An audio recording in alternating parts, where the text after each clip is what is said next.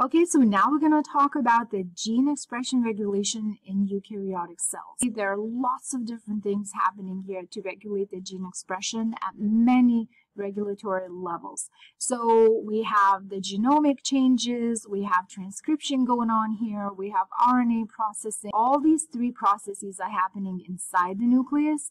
And then we have processes that happen outside the nucleus so we're looking at translation and post-translational modifications to our product. Mutations can happen randomly, and if you have a change in the genetic code, you will have a change in the gene expression as well. So for example, if there is an enhancer that the gene is dependent on for expression, and that enhancer has a mutation, then yes, the gene expression is going to be changed as well.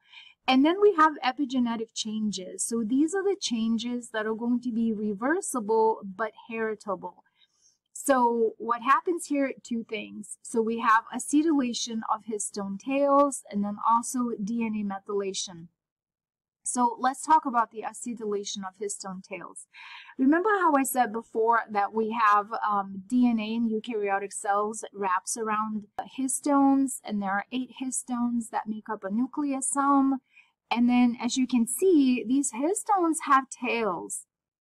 And at the very end of these tails, we have an amino acid that sits there and this amino acid is lysine and it gives a tail a positive charge. And you know, naturally found DNA has a negative charge because of the oxygen in the backbone. So now we can see positive and negative. We have a strong ionic attraction. So imagine these little tails sort of wrapping around the DNA and sort of holding everything really nice and tight. So in that case, expression, it's not going to be easy because you need to be able to have access to the DNA to be able to express a gene. So it means we have to have chromatin remodeling uh, happen. And one way to do so is through those epigenetic changes. So this is a process of acetylation where we add acetyl group to the tail, we add it to the lysine, and then what happens then, the charge is removed. So this charge is neutralized and therefore these tails are going to loosen up and they sort of let go of DNA and now you will have an easier access to read the DNA code and therefore to initiate transcription. Another way to affect the gene expression is through DNA methylation. Um, so a methyl group is added to cytosine. You can see this is a simplified DNA molecule and here's your cytosine and it has methyl group added to it. So imagine if you have multiple, multiple cytosines and they all methylated, so that region of DNA would be silenced.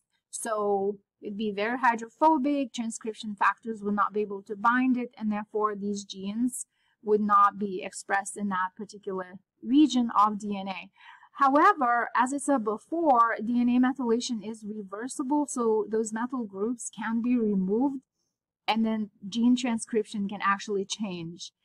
So, and environment plays a huge role in epigenetic modifications and therefore in gene regulation. I have a really cool example here how identical twins, um, they were babies, uh, identical twins, and they looked at their DNA methylation pattern. And at first, they were exactly the same. And then years later, by age 50, when they checked their DNA again, they saw that the DNA methylation pattern, pattern was very, very different. So they were living in different environments, different genes ended up being expressed. And if you actually saw them, they didn't even look like twins, or let alone they didn't even look like they were related. That's how, how much of the difference actually caused in the gene expression and therefore in the physical appearance of these people.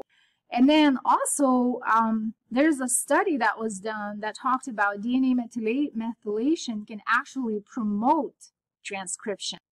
So I'm not going to spend much time here talking about transcription factors, enhancers, alternative splicing, but yes, they all regulate gene expression, and we actually talked about them in a previous lecture. Um, a little bit of mention here about microRNAs. So microRNA can inhibit translation. So This is a diagram that shows you how you actually get it, but we're not going to be concerned about the details of this. What you have to understand here is that you have RNA, and I'm going to make it very simplified uh, mRNA here. So I'm going to say A-U-C-A-G. So this is, oh, that's a good looking G. Okay, G-A. And we don't want this mRNA anymore. So that means we want to silence it. So you can actually produce microRNA and silence that by making a double-stranded RNA. So what we're going to do here, we're going to make that mRNA, microRNA, and it's going to be U, A, G, U, C, U, and you can see now it's double-stranded. So if you have your ribosomes right here trying to read this code, notice it's not going to be able to do it because it's not a single-stranded RNA. So it means translation is repressed. So that's another way how we can actually interfere or change the gene expression and therefore the result of it. And very similar to microRNAs, we have another type of RNA, which is small interfering RNAs. We get it and we call that RNA interference. So we get that in different ways. We're not going to be concerned here in our class. Um, but yes, it can actually silence the RNA and you can see where we can use these um, interfering RNAs. Um, the last piece of information that I wanted to add here is you can also have post-translational modification. So this is where you actually produce the protein, but this protein is no longer needed. So it means we can degrade it. We are tagging this protein with ubiquitin, which is a death tag. And then this protein is going to be fed into a proteasome. So this is an enzyme that's going to degrade it and then we degrade the protein into peptides or individual amino acids, and we can use some of these components for recycling. Okay, so now here's a big question. Since we are finishing up talking about gene expression, here's a big question. How do cells with the same genes differentiate to perform completely different specialized functions?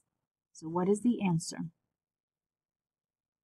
Yes, if you said the answer is highly regulated gene expression, you are absolutely correct. High five. And I'm going to finish up our discussion with this beautiful quote. Uh, so here it goes.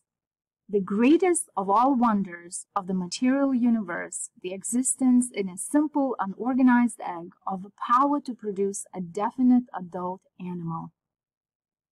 Mm, so good so good. Biology is amazing. It's beyond, beyond amazing. It's so complex and yet so beautiful. I hope you appreciate that.